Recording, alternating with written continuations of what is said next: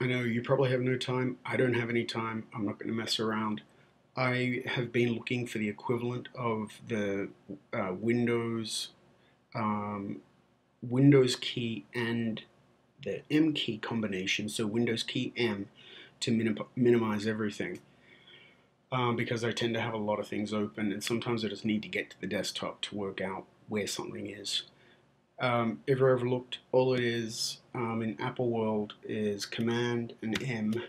That's all I've been able to find, but it just closes the active window. Until uh, last week, I found somewhere deep, hidden away, Option key, Command, H, and M in that order, and it manages to bring everything down into the bar in the bottom here so you can see your desktop.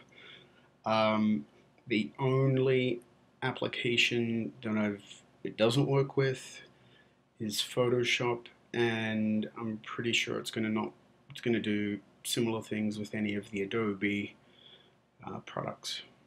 So once again, Option, Command, H, and M. Good luck.